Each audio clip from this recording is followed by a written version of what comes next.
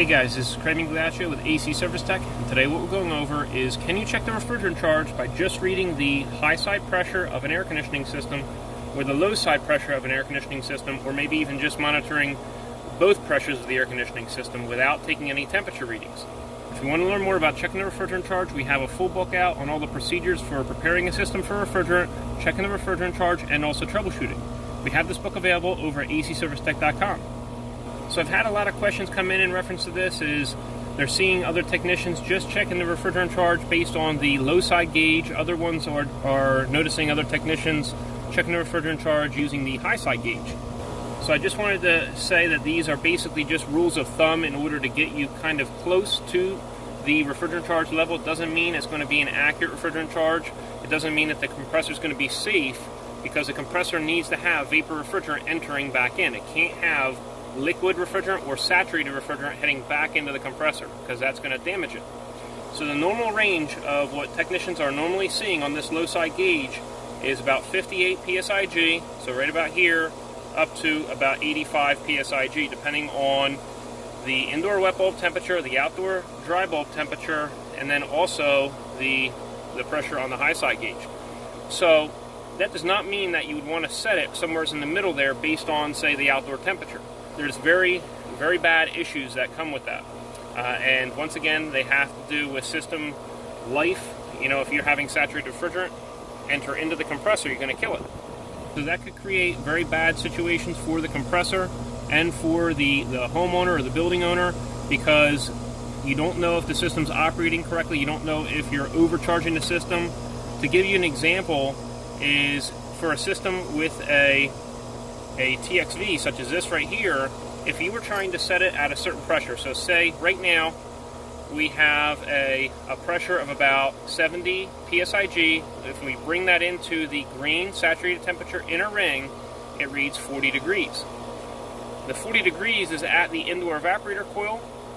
So what we do is we read the temperature on the outer line right here, the vapor line, and we read 55 degrees. So we got 55 minus 40 degrees, and we have 15 degrees of superheat. So right now we're at 54, so 14 to 15 degrees of superheat. The issue is the TXV is controlling the superheat. So if we're trying to raise the pressure here by adding refrigerant, it's not going to help. All that's going to happen is our high side pressure is going to increase because our refrigerant is basically going to get stored in the outdoor condenser coil. This TXV is not going to allow this pressure to rise.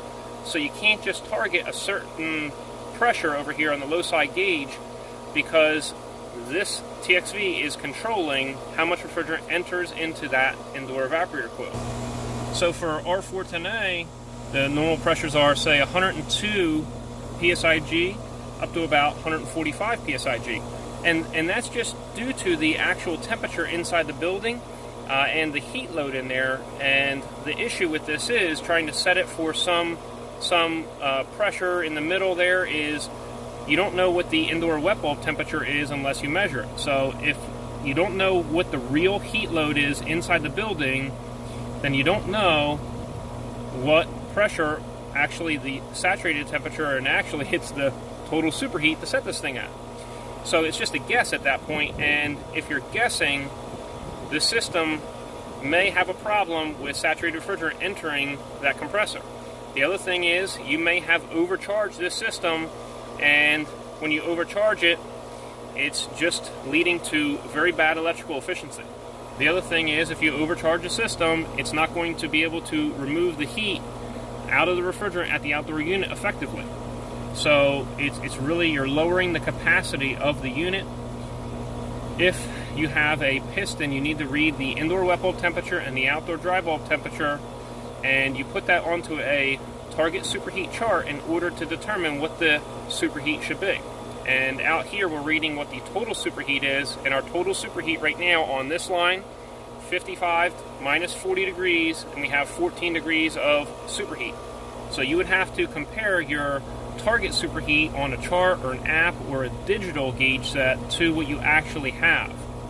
So if your superheat was too high, then you would need to add refrigerant if you had a system with a piston. And if your superheat was too low, then you would have to recover a little bit of refrigerant. Another example is if you tried to set this outdoor pressure at a certain part. The, the issue is this high side pressure may be higher if these fins are deteriorated or if this is a lower SEER unit, that's a seasonal energy efficiency rating, if, if the, the size of the coils out here is smaller, it's going to have a low SEER rating, it's going to have a higher pressure. So you can't just set, set these at a certain pressure based on your prior experience. So it real, you really need to check your subcooling on this gauge and with this line. So let's just check that right now. Our subcooling we have, it looks to be 175 PSIG. We bring it into the green inner ring because this is an R22 system. It's not an R410A. R410A is the pink inner ring.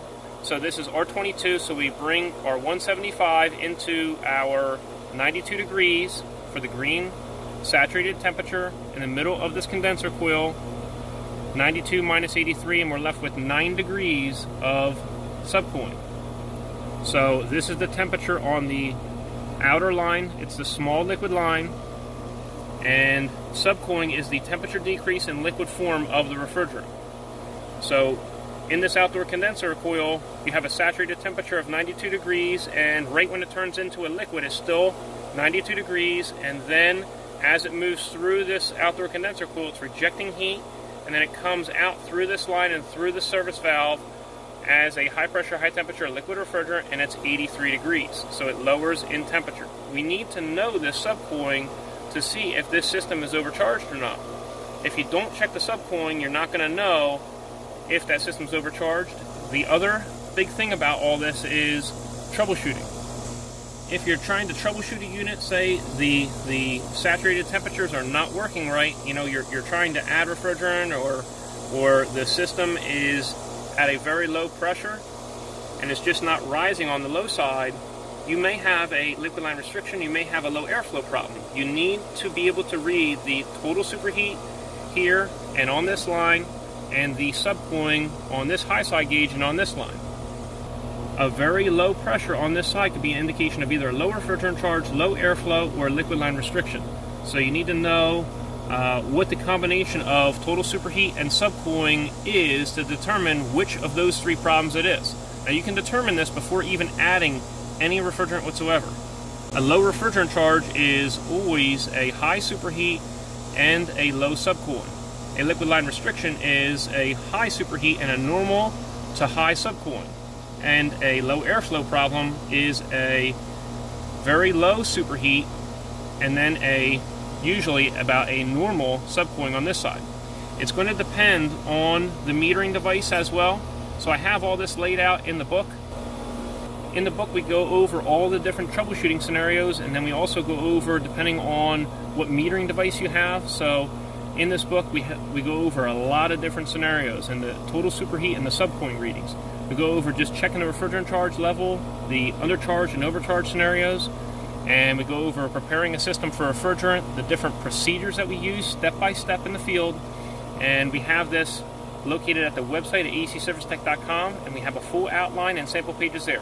Hope you enjoyed yourself, and we'll see you next time at AC Service Tech channel.